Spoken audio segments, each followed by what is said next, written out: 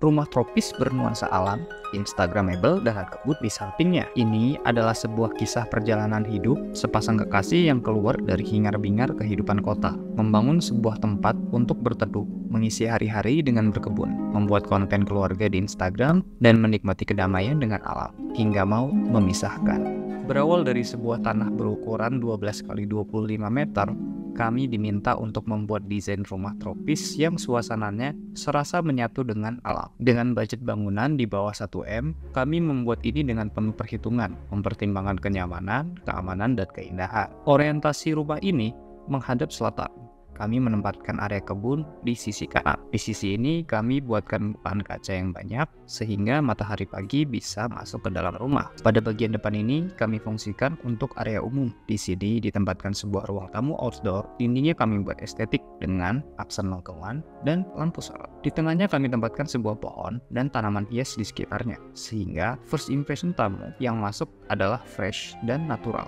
Kemudian di sampingnya tersedia carport dengan kapasitas dua mobil dan tiga motor foto. Tampilan atap depan rumah ini kami buat dengan bentuk pelana. Plafonnya dari motif kayu dan dinding dari batu alam. Bentuk tampilan depan ini terinspirasi dari gambar rumah waktu kita kecil, sehingga ada kesan unik tersendiri di dalam desain rumah ini.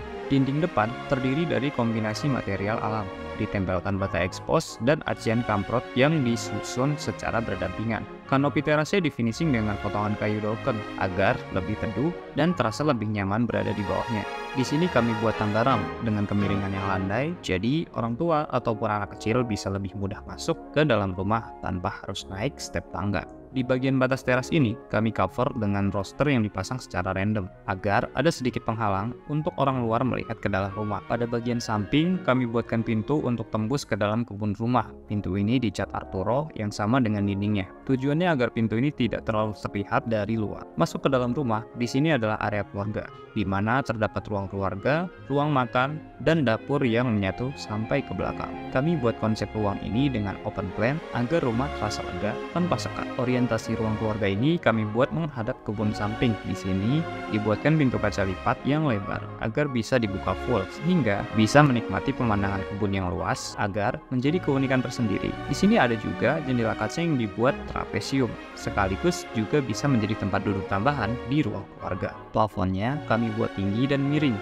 agar sirkulasi udara dan cahayanya lebih baik. Di finishing dengan material PVC motif kayu, jadi looknya tetap terlihat menyatu dengan alam. Plafon PVC ini ini pemasangannya lebih mudah, tahan terhadap air, dan juga rayap. Bagian dinding ini dibuat dengan finishing batu palimanan random agar suhu ruangan lebih adem dan selaras dengan tema rumah. Di beberapa sisi tembok, kita buatkan acian bertekstur, jadi kelihatan nggak monoton dan lebih instagramable. Kemudian dapur ini kita buat dengan bentuk letter L dengan konsep posisi triangle, sehingga posisi kompor, wastafel, dan kulkas saling berdekatan. Nah, ada yang unik dari jendela dapur ini. Ini kacanya berjenis glass jadi ada teksturnya berbentuk gelombang. Di atas meja makan ini, kami taruh lampu gantung. Bentuknya dibuat kesan industrial agar lebih bervariasi. Di sini juga ada lampu klasik yang dipasang di dinding, agar kesan drastiknya juga dapat banget. Selanjutnya masuk ke area privasi.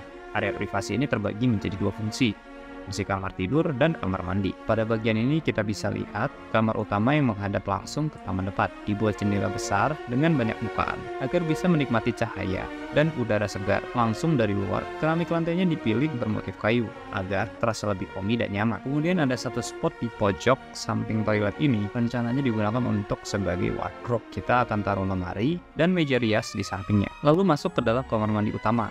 Di toilet ini kita bagi menjadi area basah dan area kering. Di area basah ini ada shower set lengkap, lalu di atasnya ada skylight, kaca yang pelah, jadi toilet tidak lembab dan tidak perlu nyalakan lampu saat siang hari. Di sini kita gunakan toilet duduk dari merek Toto Eco Wash Lalu kita masuk ke kamar tamu. Kamar ini didesain untuk muat satu kasur berukuran king, sebuah lemari, dan meja rias untuk sehari-hari. Plafon dan lantai di sini juga menggunakan motif kayu. Di sekelilingnya kita taruh lampu LED strip, jadi nuansa tropisnya terasa dan nyaman saat beristirahat. Nah, ini adalah kamar mandi luar. Di kamar mandi ini kita gunakan keramik dinding besar, ukurannya 75 x 150 cm, sehingga anaknya hampir tidak terlihat dan membawa kesan simpel serta elegan. Di sini lengkap ada shower set, wastafel, dan WC duduk. Kemudian kita ke area belakang. Kita bisa lihat di sini adalah area servis. Area servis ini ditaruh di belakang agar tidak terlihat berantakan oleh tamu. Ini adalah gudang Gudang ini dibuat berukuran 150 x 350 cm, cukup untuk menaruh barang. Dan di sini kita kasih jendela kaca model nako. Lalu finishing pintunya dipilih motif kayu